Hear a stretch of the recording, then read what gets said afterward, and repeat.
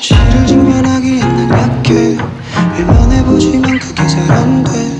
끝없이 반복되는 하루 앞에 난 죽어 있었던 거에 가깝게.